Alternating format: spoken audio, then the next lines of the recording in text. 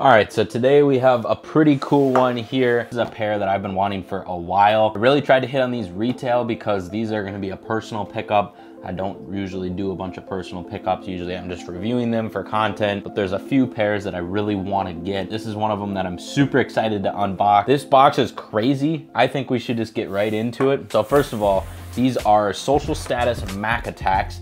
And this box has some incredible detail. You can see up top, there's that Nike swoosh inside of the social status logo. You get this green, you even get this like textured rubber on top. Looking on the side, you get a little door. It's supposed to be like a storefront, I think, because you can see this is the roof. And then you get social status and Nike logos hanging. You get some telephones over here. And then the size tag, size 11, I hit on my size. It's a wonderful day. So getting into it here, serving fresh goods every day. There we go, boom. Now I have not looked at these yet, so this is a genuine first reaction. It looks like we get a bib of some sort. Okay, a little social status Nike bib. It appears this is not a bib, it's actually a bag that you can see, you can put stuff in there, so that's kind of cool. Put that off to the side. Now the whole premise behind these is food stamps on the 1st and the 15th, typically food stamps are given out. You go to, I'm assuming the store on the box and that's where you get them. So the little bag says, thank you for supporting your neighborhood. The paper is incredibly detailed. It looks like a newspaper. So available in store and online, social status, celebrating the return of the Nike attack in partnership with social status. We also get all those stores listed, item goods, 365 days a year, shop now. Other than that, let's just get into it. Boom. All right, these, okay, so these are way better than I thought they were. Oh my gosh, these are insane. So I'm gonna get them both out here. We're gonna put the box to the side. So I knew that these were good. I didn't know that they were this good. I mean, come on. So it looks like we get some extra laces inside.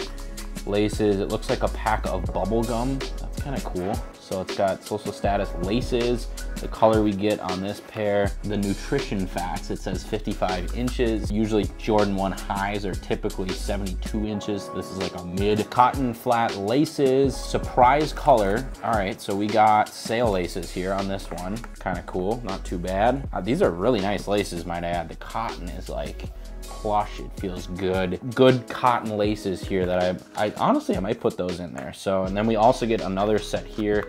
I can already see this one is, these I really like too. This is like a pink that you can see on the tongue tag. We'll get into a little bit more of the hidden details here in a second. But we also have some pink laces. Put these off to the side. Now looking at this shoe, again, these are way better than I thought they were. So looking online, I was like, man, these are super cool. I wanna get a pair of these but getting them in hand, they're just as good as I thought they were and let's just go from the back to the front, talk about some cool details on them, and then let's get them on foot. All right, so starting on the back, you can see that we have that salmon colored Nike logo. It is the OG Nike, so it looks like it's from the 80s when the Mac Attack, the original shape and silhouette was released for John McEnroe. We also have that cracked leather on the side. It, it, it is leather, I think. Yeah, it's like a cracked, I don't really know how to explain it, but it's very similar to the upper on the Jordan 1 Lost and Found. I'm assuming it's basically the same material. The gray part up here and on the swoosh and on this lower part is actually satin. And the cool part about that is you can actually cut it away and you'll get that salmon color underneath, which uh, just a cool little added detail. I love when they add little hints like that. We also get a really good looking mesh that's very plush. It's soft, feels good. It's a good color.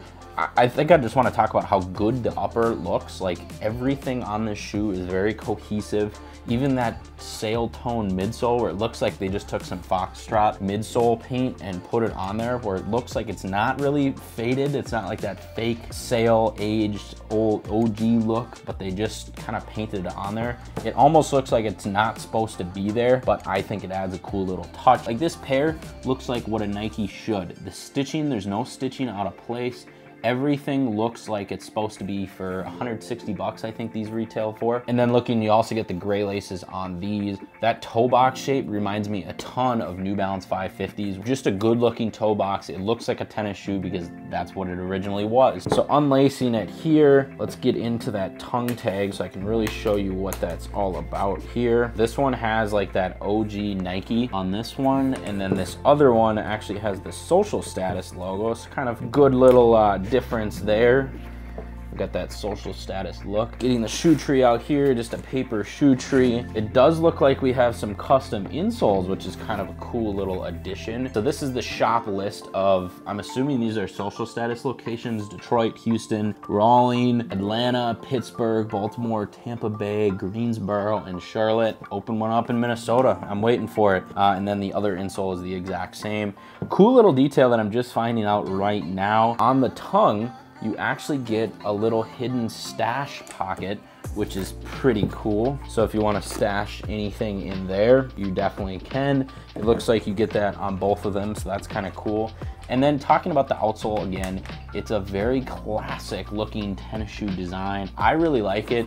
It looks very grippy. The stars kind of bleed into the outsole, which is pretty cool. There's stars throughout the entire outside, which is very different from a Jordan 1 or an Air Force 1. You get that classic Nike on the bottom. All in all, I'm in heaven. These are insane. I think we just need to get these on foot and tell you how they fit. Now that we're out in the living room, I'm gonna lace these up and put them on for the first time. These fit like a glove. These are not gonna be just a slip-on shoe since they are kind of like a mid-top. They didn't look like it online, but they definitely come up to your ankle quite a bit. So you wanna get some, some good socks for that. I have my Stance mid-cut socks on right now. Favorite socks in the world. Shout out Stance. Oh, man, these feel so good. I mean, come on how good do these look on foot? I mean, these look incredible. Now, the real question is, do I cut the swoosh? Honestly, I don't think I will. Now that I'm thinking about it, I don't think I will just because they look so good as is. And I'm gonna be wearing these so much. They look so good. There's just plenty of space. They fit very similar to a 550, but it's like a mid again. And my favorite thing is probably just that top down profile and how good they look when you just look down at them. Are these worth 180 bucks? I think so.